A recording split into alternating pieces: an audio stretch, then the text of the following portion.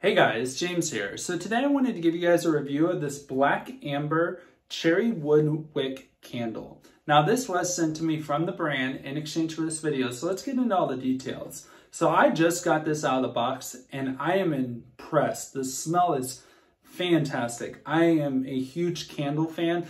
Love to have a candle lighting up throughout the day. Just a really, really nice smell. This is going to be the Cherry Wood Wick. This is what it looks like. You can see the wick right there, but perfect for a gift if you want to do that. It would be perfect for all sorts of different things that you can utilize them for.